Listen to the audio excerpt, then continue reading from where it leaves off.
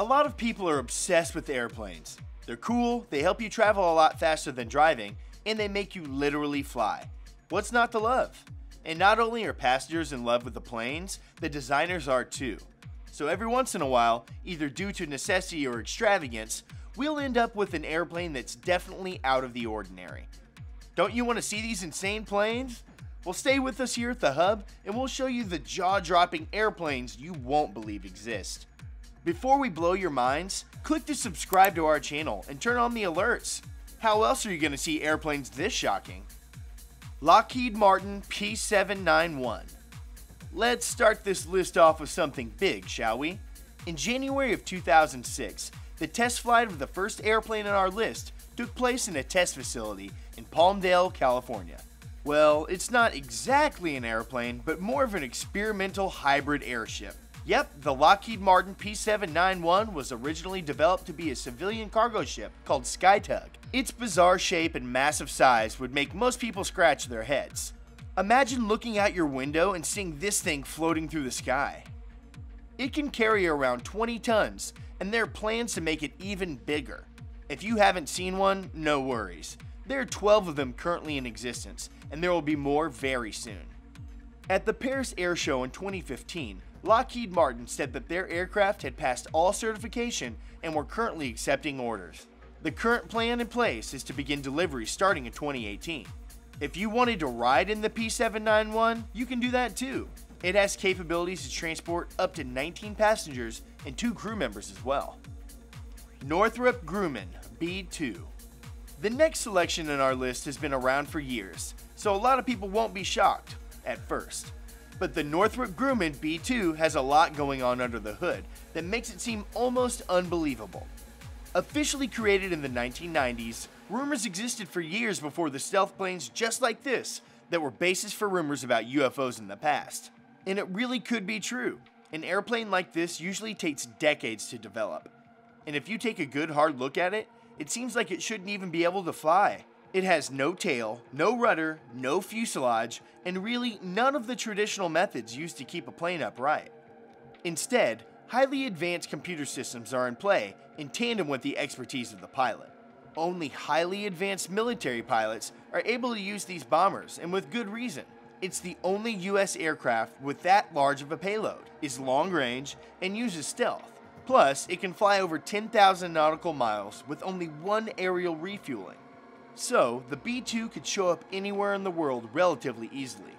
Airbus A380 Custom. Now let's jump from military craft to leisure, because the next airplane is one of the most expensive to have ever been built. The custom Airbus A380, owned by a Saudi prince, cost over $485 million. Spending that much money is no small feat. You have to get truly creative to even think of ways to make it cost that much. But when you're swimming in money from being an oil tycoon, you have the time. Here are just a few of the crazy things on board this plane's three stories. There's a garage, meaning the prince can just drive directly onto it instead of dealing with pesky stairs. There are five master suites with king size beds and 20 guest rooms that are better than most planes' first class seating. But it gets much wilder than that. There's a concert hall with a baby grand piano and a steam room too. And finally, there's a well-being room which projects the plane's outside surroundings onto the floors, making it appear as if you're floating. There's enough amenities on this plane to live lavishly for your entire life.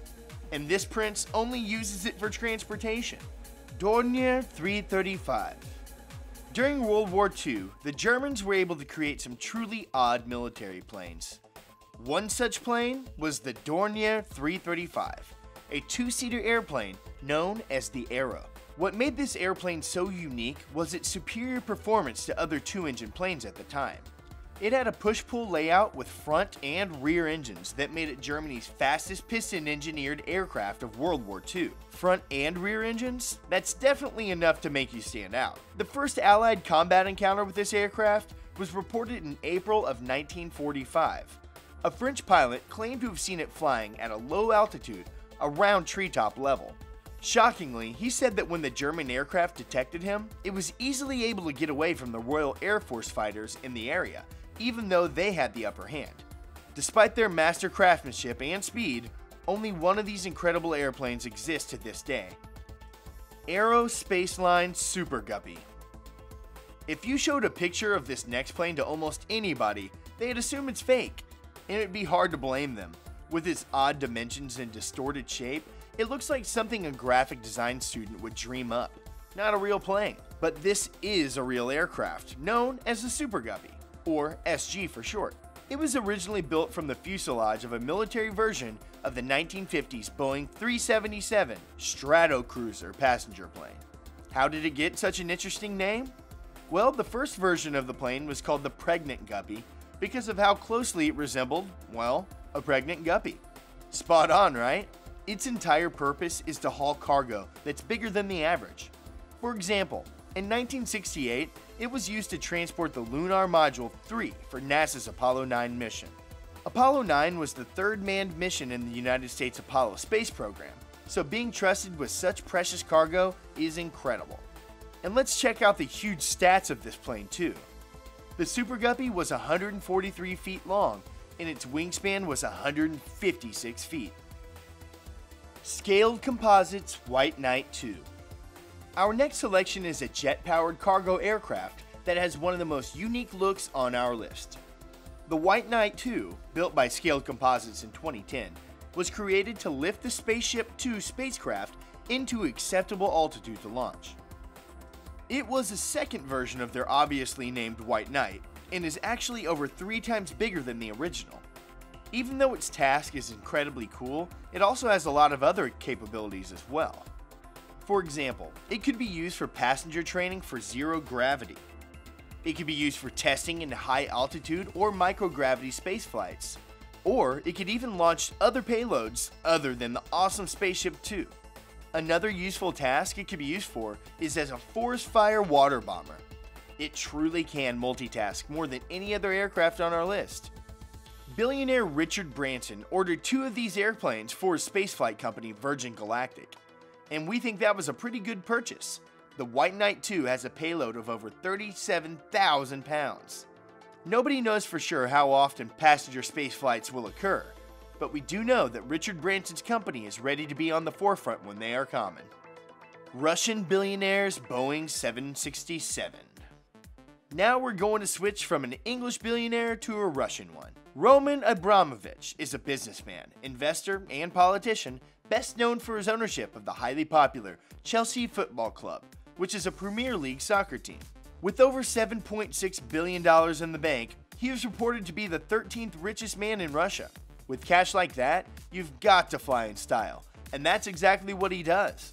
Roman was able to deck out a Boeing 767 and in the process created one of the most expensive planes ever built in Russia. In fact, it's said that the plane is on par with Air Force One. You know, the plane the United States President flies in. Also, like the Air Force One, it comes fully equipped with luxurious items and safety features like missile jammers. Mr. Abramovich must be pretty popular. Inside the cabin of this Boeing is decked out as well.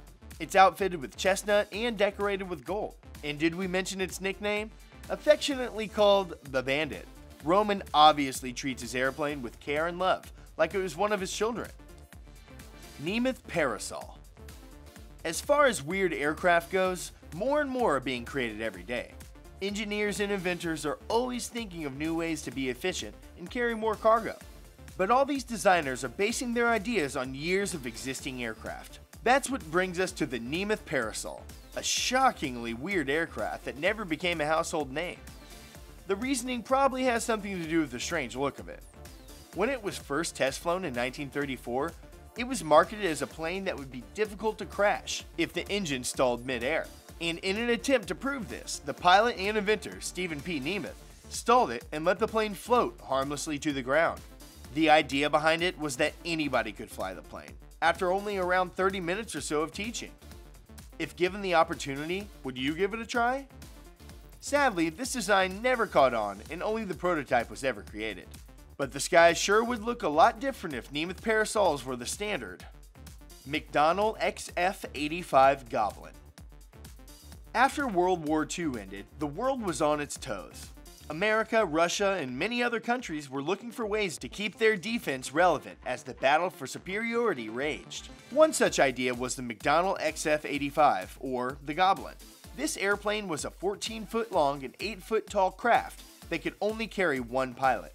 It was an American prototyped aircraft designed to be dropped from the bomb bay of the Convair B-36 bomber. The American military wanted a way to protect their precious bombers if they had to fly towards the Soviet Union.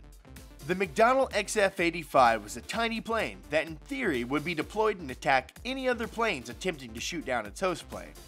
After experimenting with the plane, the US military have decided that it didn't quite fly well enough to be used full time, so it never went into regular use. Even though it was cancelled, the concept was still pursued for years. The MD-160 the final airplane on our list is so weird looking, it's so impractical, it could barely get off the water. But the MD-160 definitely left a permanent mark on the history of astonishing airplanes. The MD-160, or as it's known, Ekranoplan, was used by Russian and Soviet natives from 1987 to the 1990s. The idea behind them is simple. It's to be used as a dual warship and aircraft. This experimental idea was the only one ever created. Although another version was planned, it only reached around 90% completion before the government pulled the plug. We assume that one version of this monstrosity was more than enough.